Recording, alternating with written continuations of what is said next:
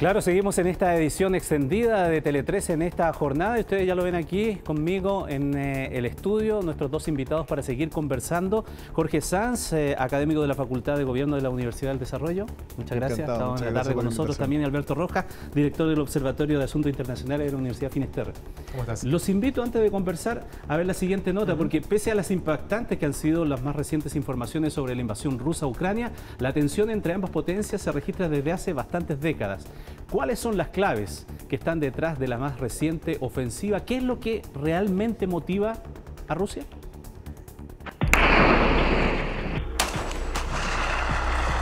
Son los registros de una escalada de tensión que se ha perpetrado durante décadas en Europa Oriental. Un conflicto de larga data cuyos más recientes acontecimientos impactan al mundo entero. Pero ¿qué está detrás de estos sucesivos roces entre Rusia y Ucrania? ¿Cómo se explica esta invasión?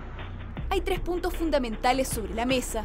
Intereses económicos, la idea de Rusia de reconstruir la ex Unión Soviética y lo que el Kremlin ve como una amenaza a su seguridad por parte de Occidente. Los expertos aseguran que hoy no es lo económico lo que mueve la invasión, sino principalmente el afán ruso por recuperar su poderío de antaño. Mapa en blanco y negro para ilustrar cómo hasta antes de su caída en 1991, Ucrania era parte de la Unión Soviética, pero tras su colapso, la potencia que antaño se disputaba el mundo con Estados Unidos quedó reducida en su poderío y dividida en una veintena de repúblicas, escenario que Rusia ha intentado revertir durante años. El nacionalismo ruso es importante y parte de ese nacionalismo es ser una gran potencia y la, idea de tener eh, como una esfera de influencia la idea de que el país estaba humillado en los 90 fue algo muy fuerte en Rusia. Entonces, ha querido reunir pedazos de la antigua Unión Soviética. Los rusos actualmente dicen y argumentan que eh, Ucrania en realidad es básicamente una ficción, es simplemente la pequeña, Rusia, la pequeña Rusia, o una pequeña Rusia, serían básicamente unos hermanos menores. Y siempre eh, se le trae a corazón el argumento de que eh, el origen de Rusia está precisamente en Kiev. De ahí las sucesivas arremetidas rusas ante la incipiente emergencia de una identidad o nacionalismo ucraniano. Pero la seguridad es también una de las grandes preocupaciones de Putin. Por eso el histórico conflicto entre Rusia y Ucrania no se explica sin considerar también los constantes acercamientos de Kiev con la OTAN, gran rival de la Unión Soviética durante la Guerra Fría. Para el Kremlin, las tratativas de Ucrania con el Atlántico Norte representan una amenaza directa. Putin está desafiando a la OTAN, demostrando su poderío. Rusia busca tener este, esta especie cierto de anillo de países afines que, lo rodean y que le dan cierto un, entre comillas, margen de protección ante lo que denuncia constantemente que puede ser un asedio de Occidente. Y la importancia geopolítica de Ucrania es también otro punto relevante a considerar. Gran parte del gas que Rusia vende actualmente a Europa pasa precisamente por territorio ucraniano, lo que dota a esta zona de una importancia especial para Putin.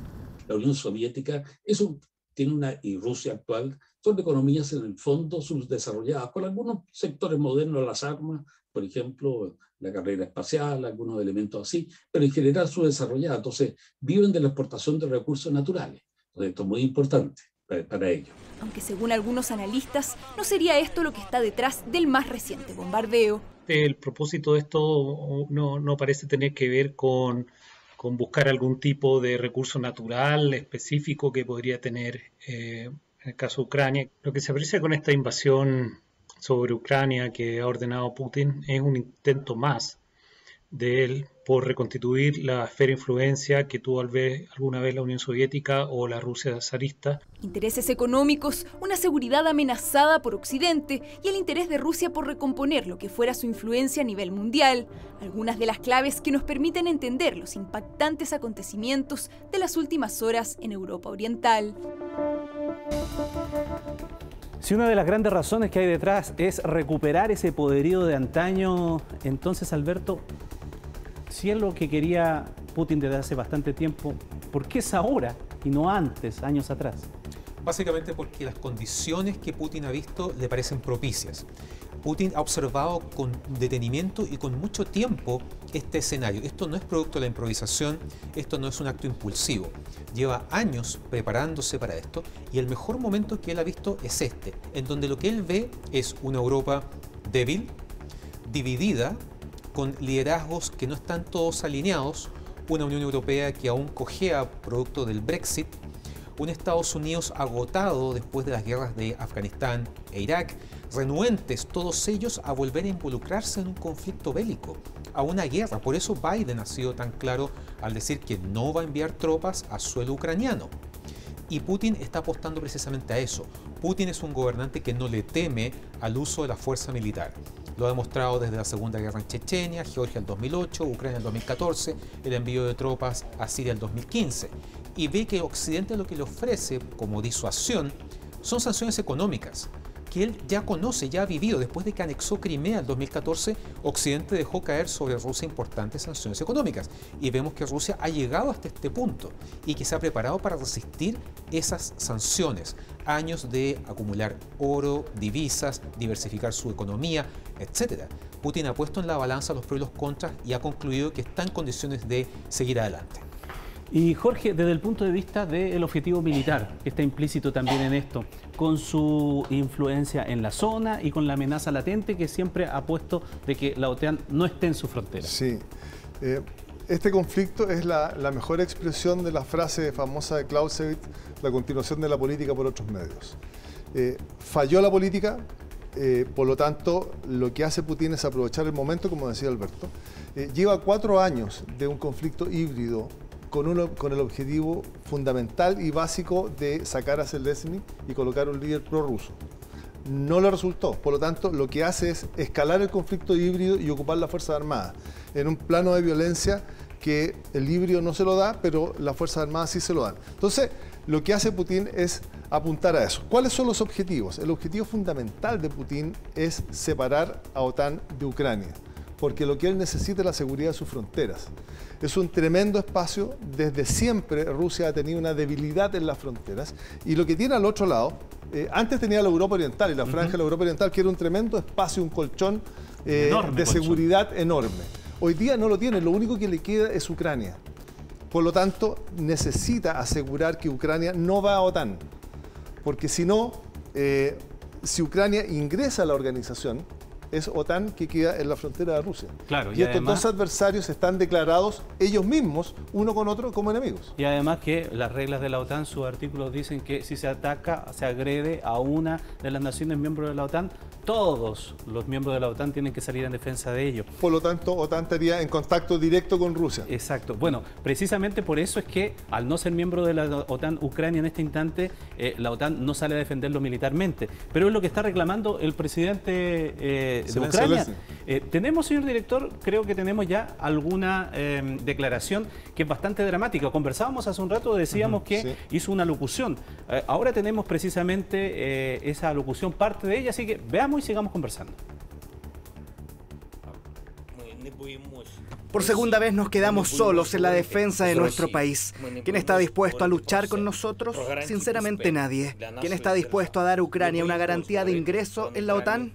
Sinceramente todo el mundo tiene miedo de Moscú. Yo estoy en Ucrania, mi familia también está en Ucrania, mis hijos también están en Ucrania, mi familia no es traidora, son ciudadanos de Ucrania. Hay información de que soy el objetivo número uno de Rusia, mi familia su segundo objetivo. Me quedaré en Ucrania con mi gente. Dramático la declaración del presidente ucraniano que además dijo, hoy le he preguntado a 27 líderes europeos si Ucrania entrará en la OTAN y dice que nadie le responde. Sí. Alberto. Exactamente, y eso era absolutamente esperable. Hace semanas que Occidente ha rayado la cancha, por decirlo de alguna manera, respecto de qué se podía esperar. Estados Unidos ha enviado toneladas de armas a Ucrania con el objetivo de reforzar las fuerzas ucranianas frente a una eventual invasión. Pero desde el primer momento Biden dijo que no enviaría soldados estadounidenses. Distinto es el escenario en caso de que Putin quisiera sobrepasar las fronteras ucranianas avanzando hacia países de Europa del Este que son parte de la OTAN, como Polonia, como Rumania. O los bálticos. O los bálticos más hacia el noreste.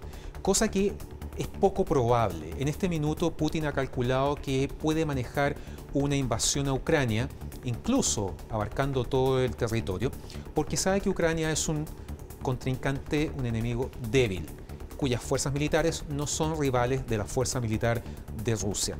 Distinto es querer avanzar hacia el, este, hacia el oeste y eh, enfrentarse a países que forman parte de la OTAN.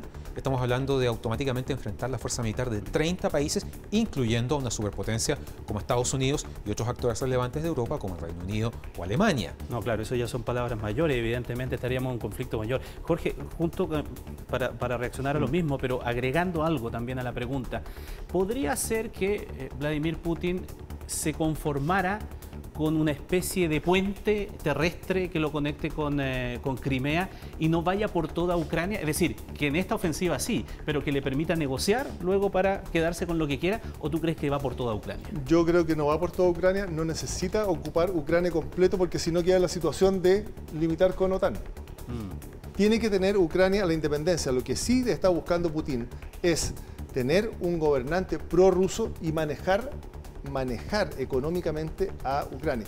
Hay un, hay, un, hay un detalle en las sanciones del presidente Biden. Las sanciones del presidente Biden son a largo plazo y lo, especifica que son a largo plazo.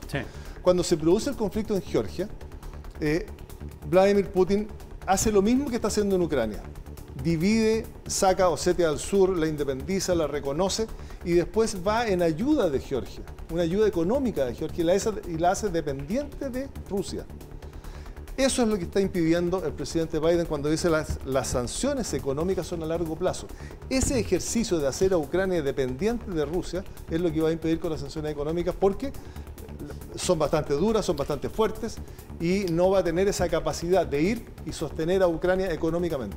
Alberto, ¿y las cosas no podrían cambiar desde el punto de vista de la decisión de la OTAN o de Estados Unidos si es que la vida del presidente eh, ucraniano corriera peligro, porque lo veíamos allí, él dijo, voy a quedarme aquí, voy a quedarme con mi familia, es casi una declaración de voy a morir aquí en el puesto.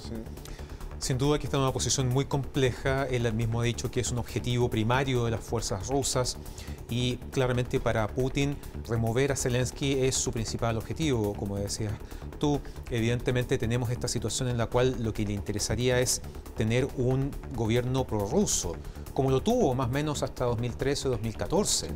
Por lo tanto, ¿qué va a pasar con él? Es una incógnita. Alguien podría pensar, elucubrar que tal vez van a enviar fuerzas especiales para rescatarlo. Aún así, pareciera un esfuerzo mayor eh, frente a lo que ya ha dicho Estados Unidos respecto a sus limitantes al involucramiento en este conflicto. Lo último. hay un punto, perdón, para, complementar lo que dice Alberto, hay un punto que es bien importante. La última declaración antes del ataque de Putin la hace el presidente Zelensky de, decirle a la Unión Europea, bueno, ¿y cuándo me van a integrar? ¿Cuándo me van a incorporar? Después de eso viene el ataque. Claro, que lo dijo el fin de semana en la cumbre de seguridad de Múnich. Sí, claro. Ya, último. Eh, lo de una figura como Lukashenko en Bielorrusia. Sí, eh, eso es lo que necesita. ¿Es funcional? Eso es lo que necesita. Eso es lo que necesita. Eso es lo que necesita. Incondicional y dependiente. Jorge, Alberto, muchísimas gracias por estar con nosotros aquí en Tele 13. Gracias, gracias Ramón.